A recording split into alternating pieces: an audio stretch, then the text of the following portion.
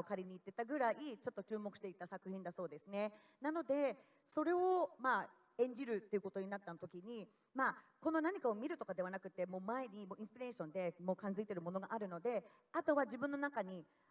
感じているもの頭の中にあるものを生かして演じればいいやというふうに思ったそうなんですけどそれをやった時にですねなんかしっくりくるなというふうに感覚そんな感覚を覚えたとのことでした。And what about Joe? Uh, how did you get on board?